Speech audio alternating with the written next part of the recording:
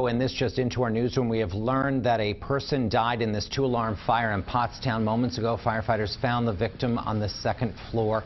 Four other people inside the row home managed to escape, including one person who jumped from the second story window. Fire officials say no working smoke detectors were found in the building.